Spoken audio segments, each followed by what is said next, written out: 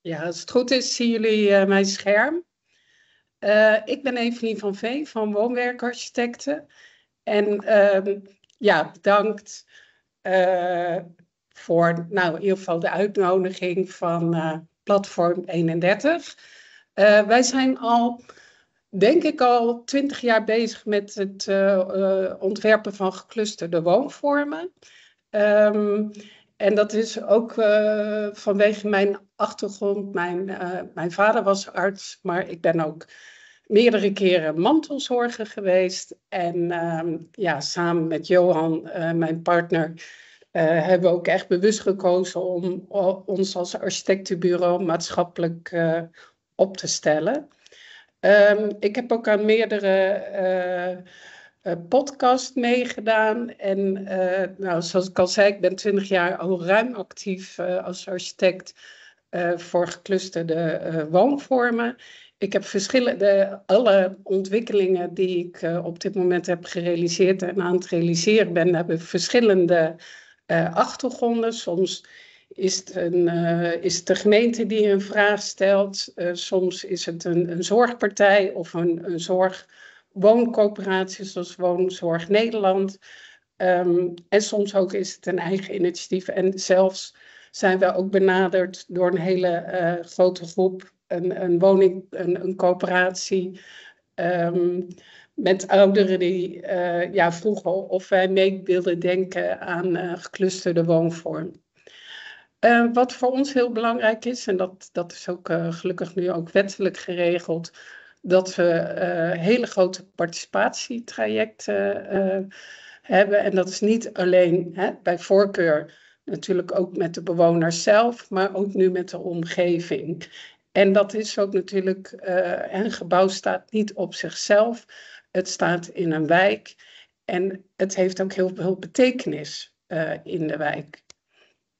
Nou, zoals al eerder geïntroduceerd is, zien wij ook dat alle partijen die in de, in, in de pijlers werkzaam zijn, hè, de zorg, welzijn en het wonen, uh, is ook een heel, is heel belangrijk dat die samenwerking goed is. En dat je gelijk ook met elkaar uh, optrekt. Um, en wat wij nu ook zien, wij, wij werken nu ook uh, met gemeenten samen, um, dat, ja, dat een geclusterde woonvorm heel veel op zou kunnen lossen, ook in de problemen die in de wijk zijn de, de doorstroming die, uh, die plaats moet vinden. Ouderen die het ook fijn vinden om samen te wonen. Maar het feit ook dat je daarmee ook de zorgkosten uh, kan beperken. Dat je ook daadwerkelijk voor elkaar kan zorgen. Um, nou, de pijler uh, welzijn. ik ben natuurlijk ontwerper. En uh, eigenlijk ook uh, ja, de, de bemiddelaar tussen, tussen alle pijlers. Hè? Alle, uh, onze opdrachtgever, maar ook de buurt, maar ook de zorgpartij. Dat zijn eigenlijk alle partijen waar wij ons in gaan in verdiepen.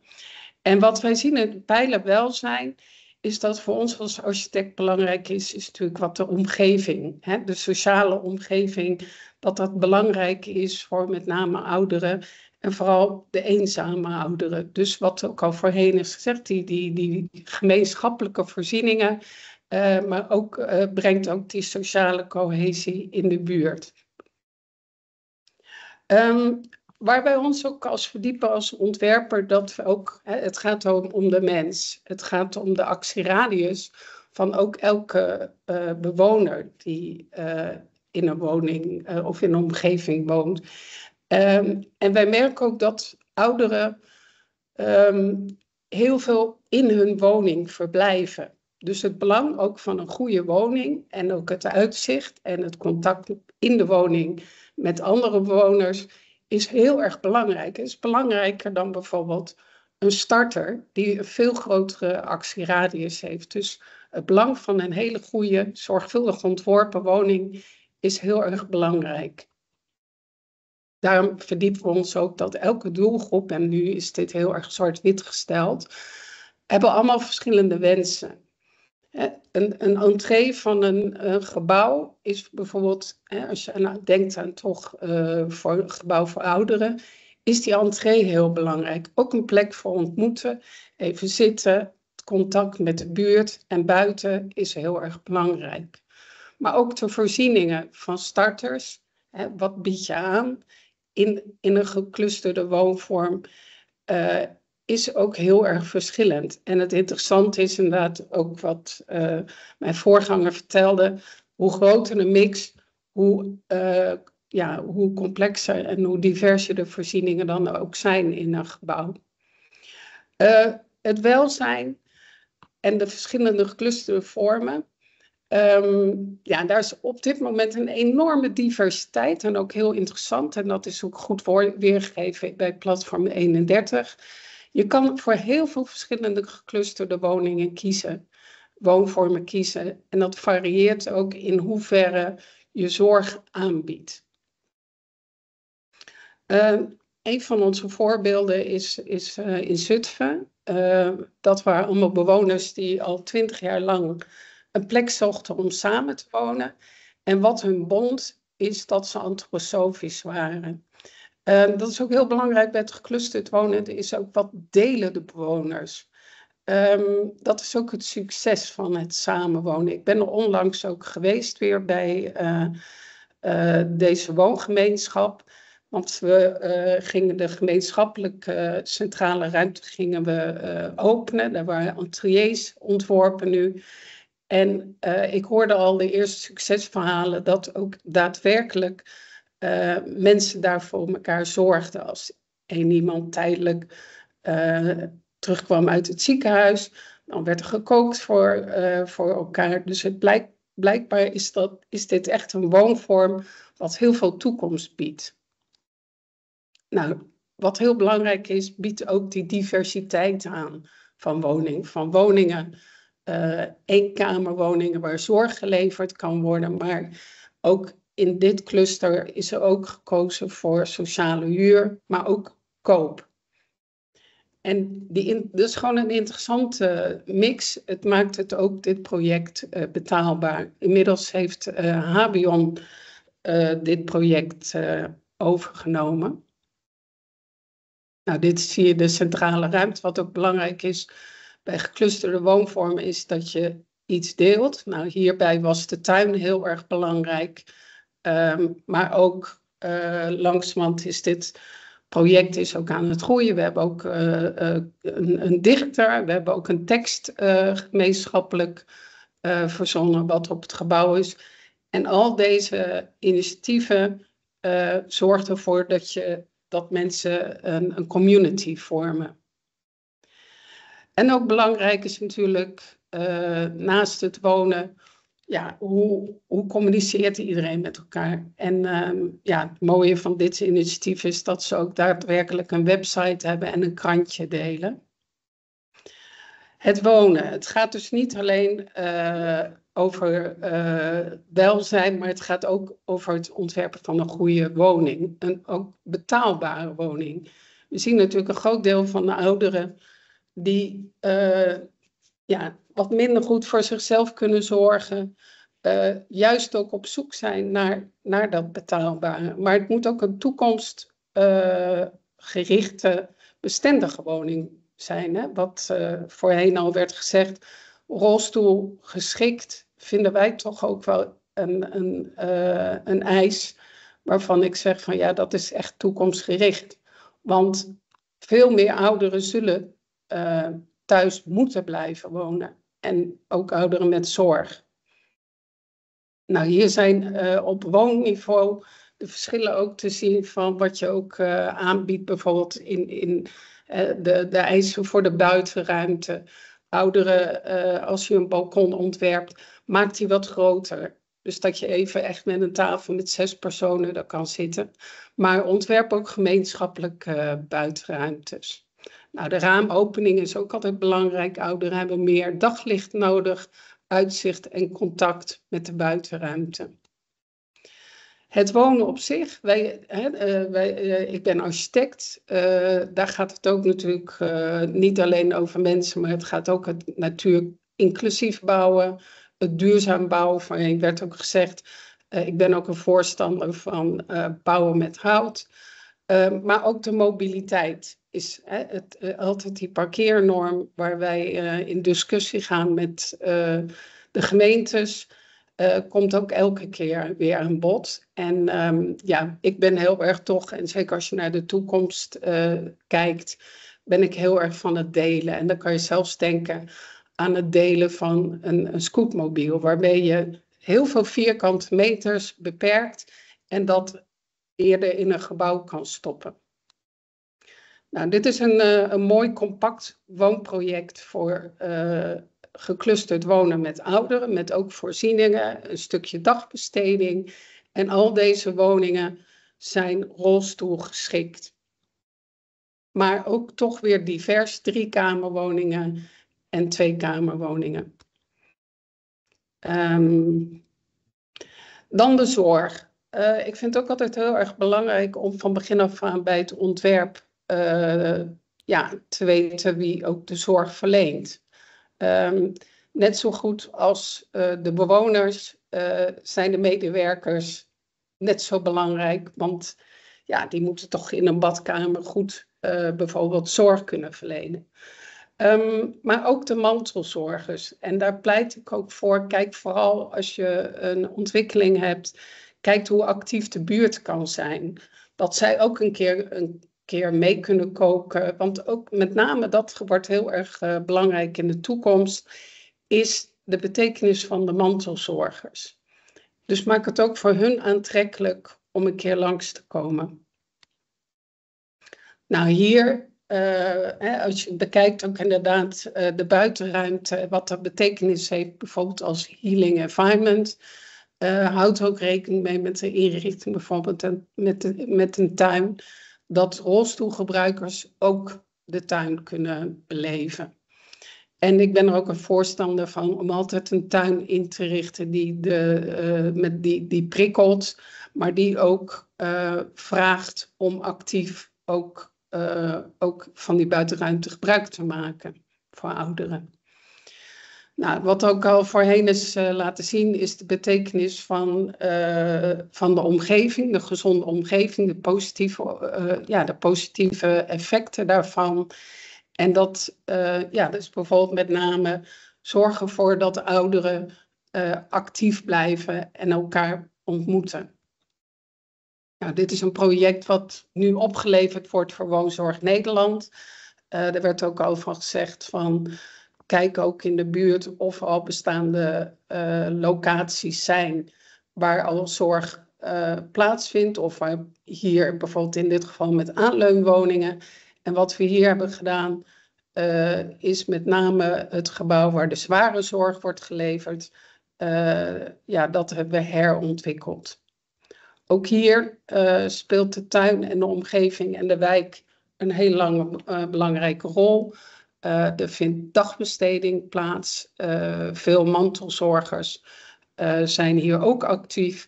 En dit is ook wel een plek waar je kan blijven wonen, ook als je hele zware zorg nodig hebt.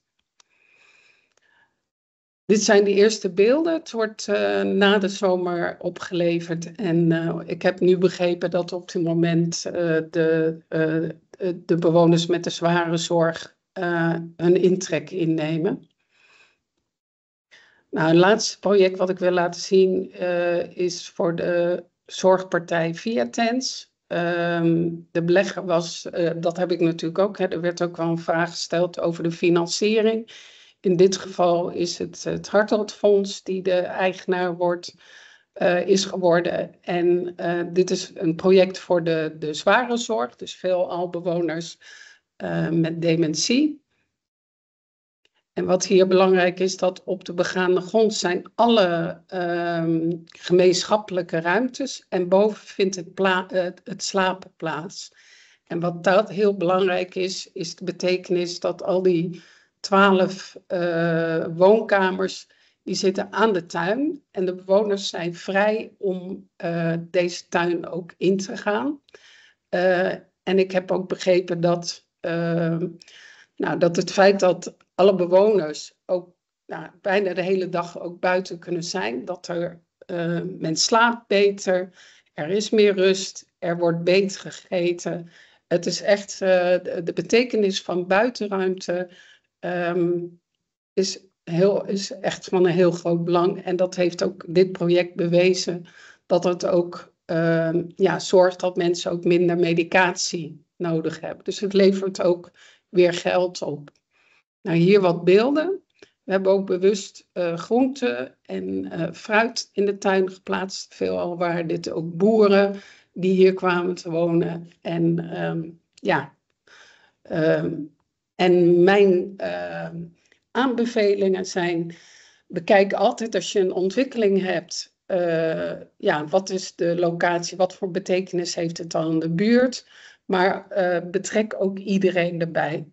Als het kan, de potentiële bewoners, hè, om al met die, die community building te beginnen, maar ook de omgeving. De gemeente heb je nodig hè, als het gaat inderdaad over bestemmingsaanpassing van bestemmingsplannen, maar ook bouwhoogtes, uh, volumes, de parkeernorm. Um, en ja, verder zou ik willen aangeven, uh, maak het vooral betekenisvol. Uh, wonen gaat niet alleen om stenen, maar um, hè, het belang van de, een gezonde leefomgeving, het toegankelijk maken en betaalbaar maken en toekomstbestendig en duurzaam uh, is net zo belangrijk dan alleen de stenen. En verder inderdaad als laatste um, de community. Uh, ja, verdiep je in wat deelt, uh, wat delen de bewoners in een gekluste woonvorm. Uh, op het moment als je daar ook echt een gemeenschappelijke woonruimte of een tuin maakt als iets wat de verbinder is of veel ontmoetingsruimte, dan is dat, ja, dan geeft het toch de mensen eerder een gevoel van samenwonen. Ja, ontzettend bedankt uh, Evelien voor je, voor je presentatie en mee te nemen hè, in jouw uh, uh, de visie, hoe jij zeg maar, naar deze type woonvormen kijkt en ook wat er voor nodig is. Um, we leven nu elf uur, dus ik wil voorstellen dat we nog even één vraag doen en dat we daarna het webinar gaan afronden.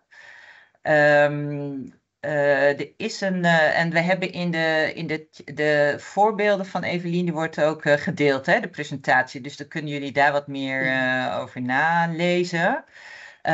hier is een opmerking en die gaat over mobiliteit en deelmobiliteit. Um, jij geeft aan van, goh, dat zou ik ook wel adviseren, hè, vanwege beschikbare ruimte. Kun jij, is dat al in werking? Werkt dat? Ja, um ja, we zijn er heel hard mee bezig, maar daar, daar moet je ook uh, uh, zowel je opdrachtgever, uh, dus, dus wij, we zijn nu met een ontwikkeling bezig voor Woonzorg Nederland. Zij zijn heel geïnteresseerd in, in het delen. En naast het delen misschien van een auto, ook um, ja, eventueel delen van een scootmobiel. Het, het zijn allemaal hele dure vierkante meters die je moet realiseren. En ik heb begrepen van Woonzorg Nederland al dat met name als je voor de sociale huur bouwt, er vrijwel bijna niemand een eigen auto heeft.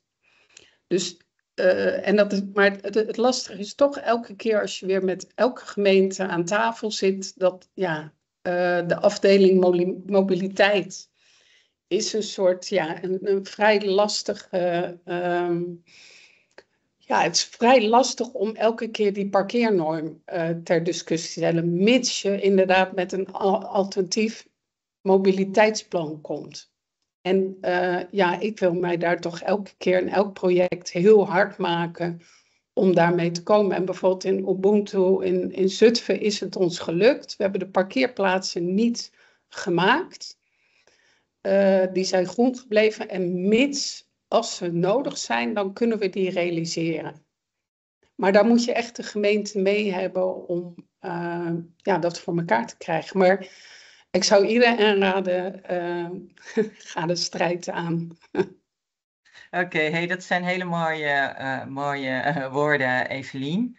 Um, want jij, het, werken aan zorgzame gemeenschappen, aan zorggeschikte woningen, aan geclusterde woonvormen, meer waar ontmoeting uh, eigenlijk al dat type ambitie mogelijk is. er zijn heel veel onderwerpen die daar belangrijk zijn. Dus bijna hè, dat wonen, welzijn, zorg, dat is een heel mooi kapstok hoe jij hem hebt mhm. neergeschetst. wat, wat mij opvalt ook aan aanwezigen is dat heel erg ook gezocht wordt hè, van ja, ik kan dit vanuit bepaald perspectief inbrengen, maar je moet wel daar echt goed in gesprek gaan. Hè? En waar zijn dan voorbeelden waar het wel gelukt is? Dus dat is denk ik iets wat ik. Uh, wat opvalt, hè, van goh, het, is, uh, het vraagt heel veel aandacht, en, maar er kunnen ook ontzettend goede, mooie voorbeelden mogelijk worden, waar we, waar we hartstikke veel behoefte aan hebben in Nederland.